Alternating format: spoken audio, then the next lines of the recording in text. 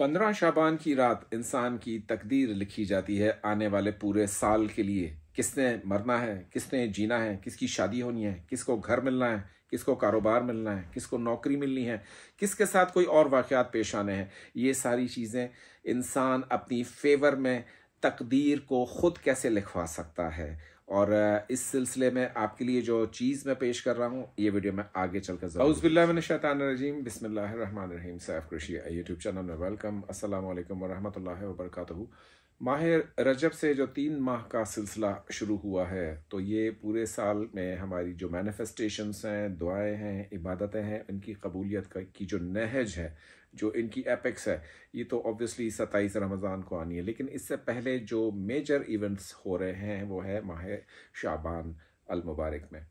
चूँकि पंद्रह शाबान से आपको सबको मालूम है कि जो हदीस मुबारक है सल्लल्लाहु अलैहि वसल्लम। यानी कि अल्लाह पाक इस रात को बनु कल्ब की जो बकरियाँ थीं, उनके जिस्मों पर जितने बाल हैं, उनसे ज़्यादा अफराद की मगफरत फरमाते हैं और साथ ही साथ उनको क्लीन चिट दी जाती है, जो भी कुछ उन्होंने पिछले साल किया। ऑब्वियसली मगफरत उस चीज़ की होगी ना, जो पिछले साल गलतियाँ, कोताहियाँ और जो इंसान से एक रॉन्ग डूइंग्स होती हैं। मिसकमिटमेंट्स होती हैं इंसान की, अपनी जो ज़ाती ज़िंदगी हो, चाहे उसकी इज्तमाही या माशरती ज़िंदगी हो, उसमें जो भी उससे गलतियाँ होती हैं, जो ऐसे गुनाह होते हैं कि जो जिसमें हकूक़ुल इबाद की इन्वॉलमेंट नहीं है। जिसमें फ़रज़ की कोताही के अलावा अगर कोई गुनाह है तो उनकी मगफरत की जाती है। और साथ ही साथ इस साल आपका रजक पूरे साल के लिए लिख दिया जाता है, यानी कि इस साल पंद्रह शाबान की रात को टोटल एक, हमारा जो ऑडिट है, एक प्रीवियस लाइफ का, प्रीवियस एक साल का ऑडिट किया जाता है कि इसने कितने गुनाह किए, कितनी नेकियाँ कमाई, कितना गरीबों की मदद की, और आइंदा साल के लिए बहुत सारी चीज़ें अता की जाती हैं।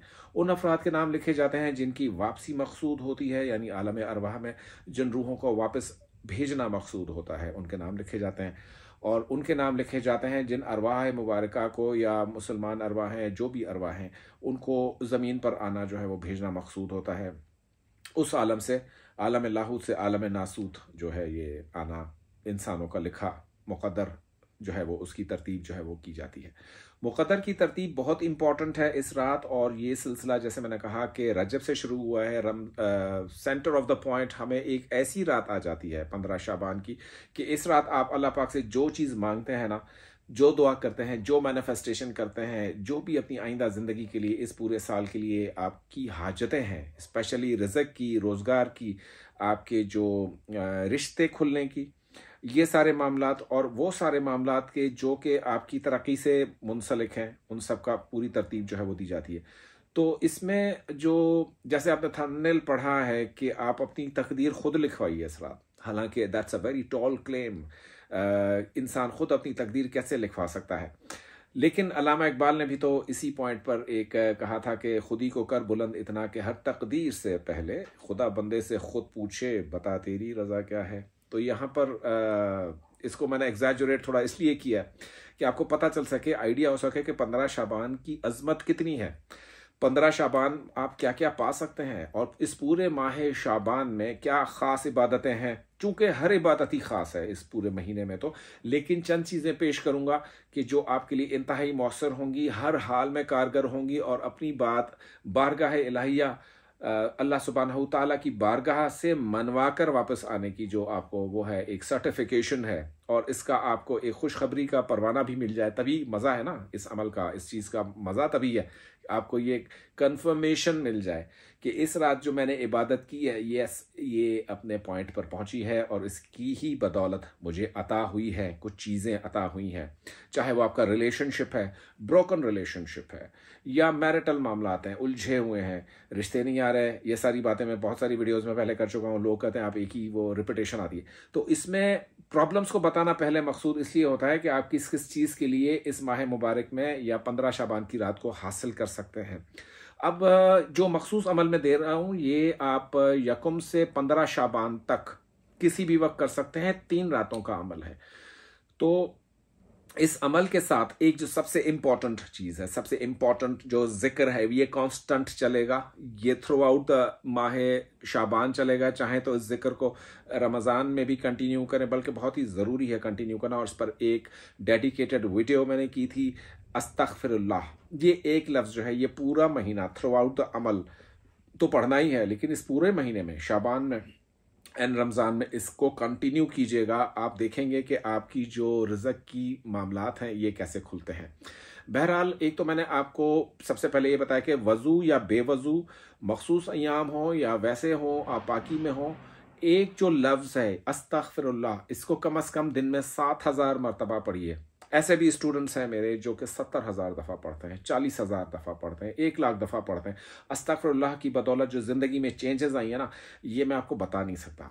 इस कदर उनकी ज़िंदगियों में बारिशें हो गई हैं, रजक की, नौकरियों की, एक साथ तीन तीन जॉब ऑफ़र लेटर्स एक साथ दो दो कंट्रीज़ की इमिग्रेशन एक साथ जो है वो दो दो, तीन तीन बड़े बड़े प्रपोजल्स अच्छे घरों के प्रपोजल्स और एक साथ दो से तीन टेंडर अप्रूव होना, लोगों का रुजू करना, जो लोग रूट चुके थे, जो क्लाइंट्स जा चुके थे, उनका वापस आना, ये सब कुछ अस्तफरल्ला की बदौलत तो हासिल हुआ है लोगों को। तो अब एक तो मैंने आपको ये बताया कि अस्तफरल्ला थ्रू आउट द रमज़ान और थ्रू आउट शाबान कंटिन्यू करना और अब आते हैं इस खास अमल की जानब, जो तीन रातों का है माह मुबारक शाबान अलमुकर्रम के लिए वो ये है कि आपने इशा की नमाज़ के बाद तीन मरतबा दुरूद पाक पढ़ लेना। तीन, पाँच या सात, जैसे भी आपको अच्छा लगे, ग्यारह भी पढ़ सकते हैं। दुरूद पाक कोई सा भी हो सकता है, लेकिन दुरूद इब्राहिमी पढ़ें तो वो ज़्यादा इस अमल में मौसर होगा। उसके बाद आपने पढ़ना है ग्यारह मरतबा सूर फातहा, यानी पहला सूरज जो कलाम पाक का है। बिसमिल्लाहमान रहीम अलहमदिल्ला रबालम ये हर दफ़ा बिसमिल्लाहमान रहीम के साथ पढ़ा जाएगा, क्योंकि बहुत सारे उलमा का इसके ऊपर इजमा है कि बिसमिल्लाहमान रहीम अलहमदिल्ला रबालम ये सूर फातहा का ही हिस्सा है। तो ये जो बिस्मिल्लाह रहमान रहीम के साथ पर पढ़ेंगे वो ग्यारह दफ़ा आप सूरह फातिहा पढ़ेंगे। ग्यारह दफ़ा आपने सूरह फातिहा पढ़ी फिर आपने तीन मरतबा आयतल कुर्सी पढ़नी है बिस्मिल्लाह रहमान रहीम के साथ हर दफ़ा बिस्मिल्लाह पढ़ेंगे आयतल कुर्सी से पहले। एंड देन जो सबसे इंपॉर्टेंट है आ, सेंटर में जो आपने पढ़ना है यह है तीन दफ़ा सूर्य यासीन। यानी छत्तीसवां सूरा, ये पूरा पढ़ेंगे। अब अगर किसी को याद नहीं है तो वो देख कर पढ़ सकते हैं। याद है तो जुबानी पढ़ सकते हैं। तीन दफ़ा सूरा यासीन आपने पढ़ ली। एंड, एंडिंग में सबसे इम्पॉर्टेंटली जो इस वजीफे का जुज है और उसके बाद मैं दुआ बताऊँगा कि किस तरीके से आपने दुआ मांगनी है, क्या रीजनिंग देनी है दुआ के पीछे आपको। रीजनिंग बड़ी इंपॉर्टेंट है समझना दुआ में। हम रीजनिंग के बगैर दुआ मांगना अल्लाह पाक ये दे दे, अल्लाह पाक ये दे दे, कोई वैलिड आर्ग्यूमेंट ही नहीं है आपके पास कहने को अल्लाह पाक के लिए। यानी कि जो उम्र का मामला है, किसी की शादी नहीं हो रही तो अल्लाह पाक को आपने इस्तगासा कैसे पेश करना ये आई टेल यू इन तो यहाँ पर तीन दफ़ा सूरह यासीन आपने पढ़ ली और उसके बाद पढ़नी है 104 मरतबा 104 टाइम्स पढ़ना है सूरह अलम नशरा। ठीक है? सूरह अलम नशरा तो सबको याद है। इसके ऊपर मैंने दो वीडियोस भी की हैं और जिस कदर रिजक, नेमतें, चीज़ें लोगों को मिली हैं सूरह अलम नशरा की बदौलत, इसके ऊपर तो समझें कि मैं कोई दस पंद्रह वी लॉक करूँ तो भी कम है। ये आपने पढ़ ली 104 मरतबा 104 और एंड में आपने पढ़ना है 11 दफ़ा सूरह इखलास। यानी कुल्हु अल्लाह अल्लाह समद। वो पूरी सूरज, सूरह मुबारक जो है वो पढ़नी है, सूरह अखलास और फिर एंड में तीन, पाँच, सात, ग्यारह दफ़ा दरूद पाक पढ़ना है एंड फिर सजदे में चले जाना है। सजदे में जाना बहुत ही इंपॉर्टेंट है। सजदे में जाकर आपकी जो भी मैनिफेस्टेशन है, जो भी बात है, जो भी आपकी कहानी है, बयान कर दें। पूरे की पूरी आधा घंटा सजदे में रहें। एक घंटा सजदे में रहें, पंद्रह मिनट सजदे में रहें, पाँच सात मिनट तो रहें ही रहें, वरना अमल का मज़ा नहीं आएगा आपको। यहाँ पर आपने दुआ मांगनी है, अपना इस्तगासा पेश करना है, अपनी वैलिड रीजनिंग पेश करनी है। समझ कि आप इतने बड़े किसी कोर्ट रूम में खड़े हैं, वहाँ जज खड़ा हुआ, बैठे हुआ है, और पीछे पूरे आपके खिलाफ गवाह मौजूद हैं, आपके खिलाफ केस है, पूरे का पूरा केस आपके खिलाफ है। कोई विटनेस आपके हक में नहीं है, सिर्फ़ एक विटनेस आपके हक में है, जो कि आपकी दुआ है, जो कि आपके अंदर का अपना ईमान है, और जिस जज के सामने आप अपना केस प्रेजेंट कर रहे हैं, उस जज में आपको फेथ है कि वो जज ही आपको अता करेगा सब कुछ। तो यहाँ पर जो रीजनिंग मैं बता रहा हूँ, वो बहुत इंपॉर्टेंट है समझना कि अल्लाह, देख, मेरे चार पाँच बच्चे हैं, इनकी रोज़ी मुझे लगी हुई है, इनके प्रॉब्लम्स मुझे लगे हुए हैं, इनके पैम्पर का खर्चा है, यहाँ पर रोज़ ऐसी हुकूमतें आ जाती हैं जो दस रुपए की चीज़, तीन सौ रुपए की कर देती हैं, हम कहाँ जाएँ? हमारी इल्तजा सुन और हमें अता फरमा। एक ये रीज़न हो गया। इस तरीके से रीजनिंग आपने करनी है कि अल्लाह पाक मेरा कोर्ट केस फंसा हुआ है। अगर मेरे साथ ये प्रॉब्लम कोर्ट केस की चलती रही तो मैं कुछ की कहीं का नहीं रहूँगा। ये समथिंग लाइक दैट एक वैलिड आर्ग्यूमेंट जब तक आपके पास दुआ में नहीं होगा ना, यकीन करें आपको मज़ा नहीं आएगा। अब आपने तीन दफ़ा, पाँच दफ़ा, सात दफ़ा, आठ दफ़ा जो भी रिपीटेशन है दुआ की, वो आपने कर ली। वैलिड रीजन प्रोवाइड कर दिया अल्लाह पाक को कि अल्लाह पाक इस साल मुझे दो करोड़ चाहिए, इस साल मुझे पाँच करोड़ चाहिए।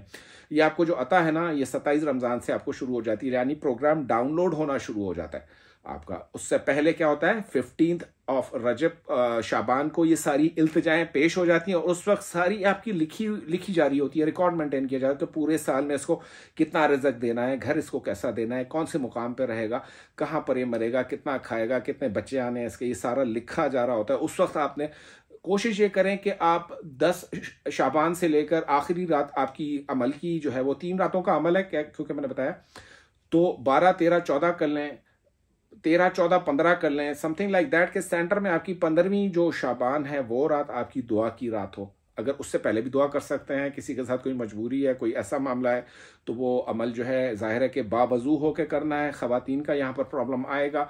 तो वो उनको जब भी ये पाकि मैसर आ जाए, अगर पंद्रह शाबान से पहले वो कर लें तो ठीक है, वरना पंद्रह शाबान के बाद भी ये अमल कर सकते हैं। और थ्रू आउट जैसे इन दो माह में मैंने कहा कि अस्तफरल्ला ये कसरत से पढ़ना है। अब होगा क्या कि जैसे ही पंद्रह शाबान को आपने दुआ कर दी, पंद्रह शाबान गुजर गई तो रमज़ान शुरू होने से पहले कोई एक ख़ास ड्रीम आपको ज़रूर आएगा, अपनी दुआ से मुतालिक, कि जी, आपकी फ़ाइल सबमिट हो गई है, और इसके ऊपर it is in process the action is in process marked for action समझ रहे हैं? अल्लाह पाक इसको मार्क फॉर एक्शन कर देते हैं। तो जब वो ख्वाब आपको नज़र आए तो हमसे ज़रूर शेयर कीजिएगा कि जिसने क्या ख्वाब देखा इसके बाद क्या बिशारत हुई है।